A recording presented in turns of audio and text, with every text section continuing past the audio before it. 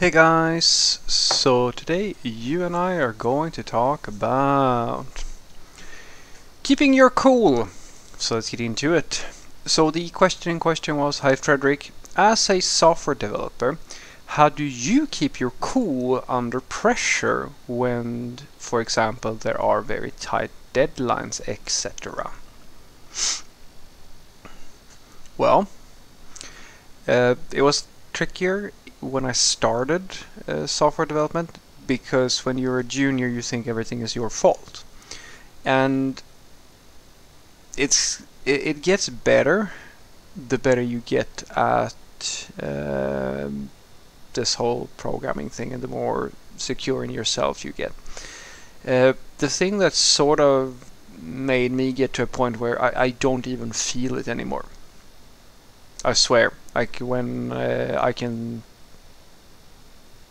well, basically look my uh, product owner or my stakeholders in the eye and just say, nope, we're not going to meet this deadline without feeling any stress whatsoever over saying it. Uh, I can tell you that, at least from my perspective, now I've reached the point where I just don't care anymore.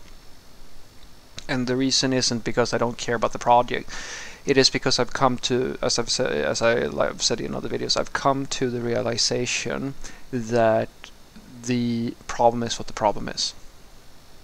It's that simple.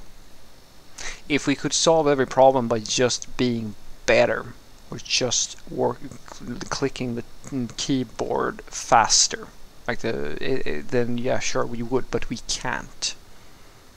So the only thing, the only option that is that remains is always the same thing. Either the problem has to change, or we're gonna have to get more time. These are the only options you ever have. You never have anything else. And when you get to that realization, you truly understand what that means, like really deep in your backbone, you don't feel any stress anymore. Because what basically it comes down to is that, well, you have a certain amount of people on your hands that can do the job. The code is in a certain state as it is the specification looked a certain way when it started and yeah.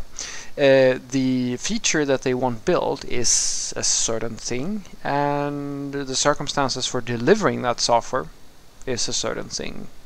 And then you have quality processes and stuff like that.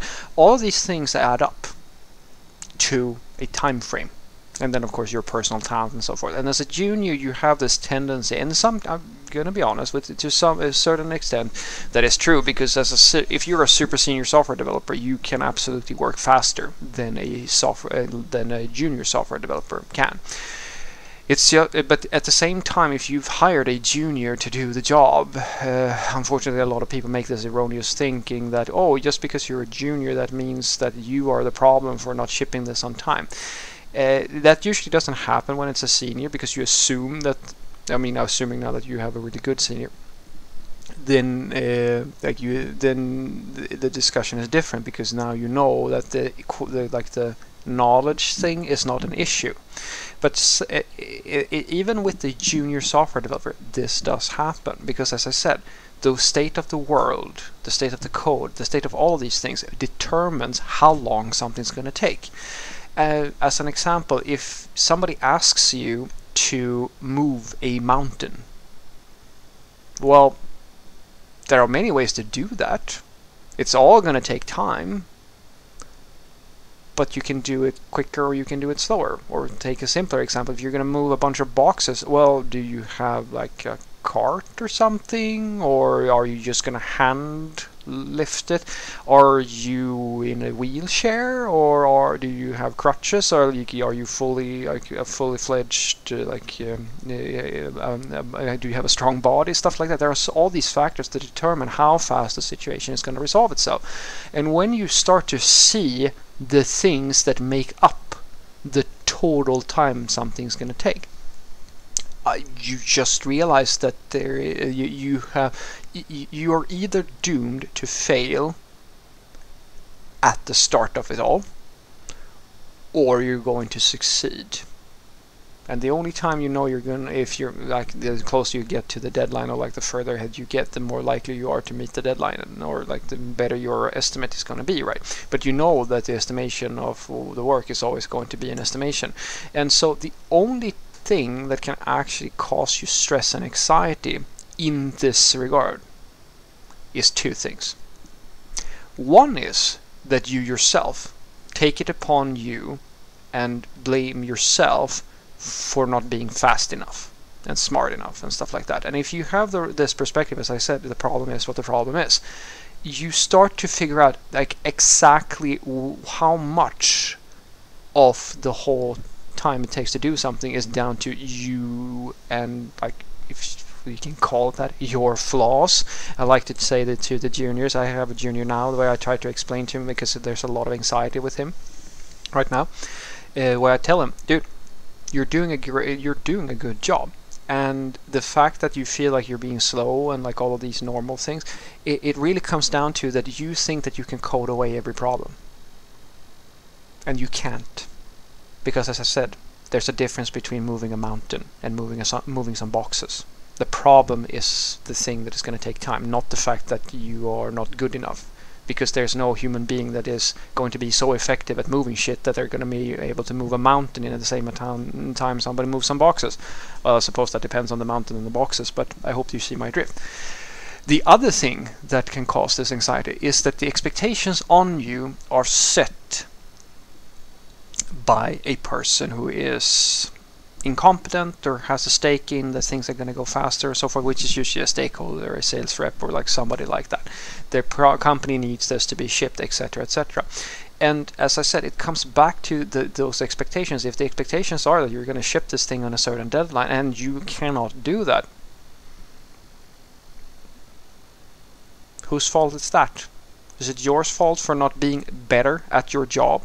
Well, you can probably turn that around and say, well, but the people who did all the planning shouldn't they be better at their job? Like maybe why is it why is it not their fault that they gave you an unreasonable deadline? Think about it. Who is to be blamed? Because if they had just given you more time then there would be no stress there would be no problem with the deadline. But you know it has to be done now and instead of checking and making sure that they knew that they could deliver what did they do? Well most likely they just said yes. Because they wanted something and they did not account for the problem. Because as I said the problem is what the problem is. And if you are making estimations or like creating deadlines or stuff like that without having a fairly good understanding of what is feasible and what is not feasible then you will have tight deadlines. And you as I said if it's very rare that I find that missing a deadline is an actual problem it's very rare. It's uh, usually that uh, uh, there's this nice quote. Um, most of the suffering that humans go through is just in their heads, or something like that, and that is usually what it is. Tight deadlines are usually just a mental gremlin that you put on yourself. It's the same thing with crunch time and all this bullshit that people use in order to somehow, I don't know, write shittier code faster because that's the thing, right? if you increase the development speed and cut more and more, you just cause more corner cutting and all that stuff. And sometimes that's appropriate because you have to. But in many cases, there is uh, it's this weird. Well, it's it, it's it, idiotic if you ask me at the very least. Because after you've done all of this, well, here is a bunch of legacy code. Congratulations, you now just caused more damage than if you just made sure that you did a good job on the first try. So what I want you to take away from this is that the way that I keep my cool under pressure is very simple. I've worked for long enough now that I know that if we miss a deadline, it's sure as hell not because I didn't do a good job, usually.